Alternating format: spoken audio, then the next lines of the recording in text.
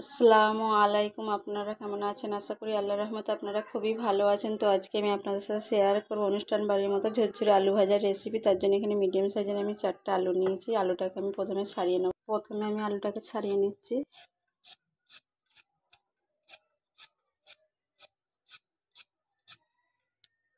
তো আলুটাকে আমি ভালো করে ছাড়িয়ে নিয়েছি। আলুটাকে আমি এখন গ্রেড করে নেব। আলুটাকে আমি গ্রেড করে নিচ্ছি।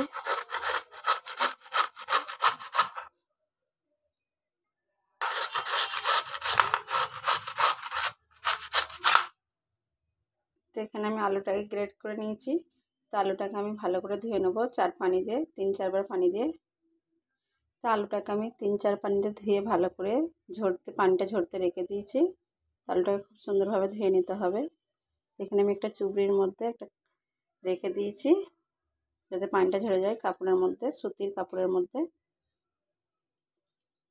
প্রথমে পানিটাকে শুকিয়ে নিতে হবে।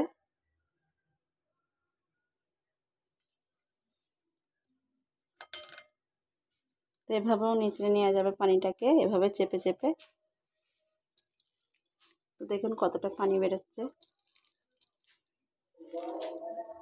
তো এখানে দেখুন কতটা পানি বেরিয়ে গেছে। তো এখানে আমি পানিটাকে ঝরিয়ে নিয়েছি, চুবড়ির মধ্যে ঢেলে নেব। তো আলু থেকে দেখুন পানিটা খুব সুন্দরভাবে ঝরে গেছে, তো আলুটা ঝুরঝুরে হয়ে গেছে। তো এখানে আমি একটা চুবড়ির মধ্যে নিয়ে নিয়েছি। তো এখন আমি তেলের মধ্যে ভেজে নেব। আলুটাকে ভাজার জন্য এখানে আমি কড়ার মতো তেল বসিয়ে দিয়েছি। তেলটা খুবই ভালোভাবে গরম হয়ে গেছে। তো তেলটা যখন পুরো পুরোভাবে ভালোভাবে গরম হবে তখনই আলুগুলো দিয়ে দিতে হবে। তো এখানে আমি আলুগুলোকে ছেড়ে দিচ্ছি।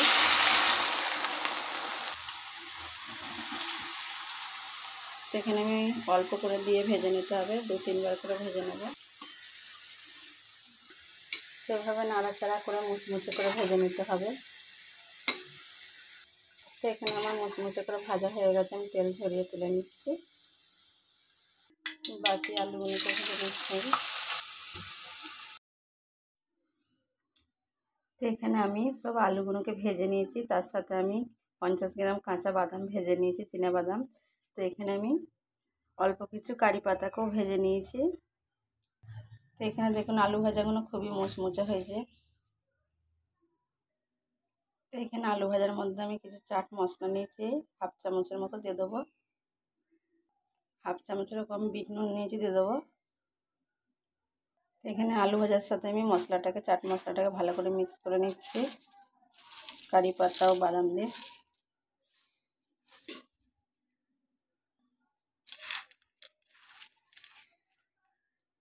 এখানে আমার মিক্স করা হয়ে গেছে। এখানে আমি একটা শুকনো লঙ্কাকে ভেজে রেখেছিলাম, দিয়ে দিলাম। তো এখানে যদি যদি আপনাদের এই ঝুরো ঝুরো আলু ভাজার রেসিপিটা ভালো লেগে থাকে, তো আপনারা আমার চ্যানেলটিকে লাইক সাবস্ক্রাইব আর বেলাইকনটি প্রেস করবেন। এই আলু ভাজার রেসিপিটা খুবই সহজ সিম্পল রেসিপি এই আলু ভাজাটা খেতে খুবই ভালো। তো খেতে খুবই ভালো লাগবে, মুচমুচে।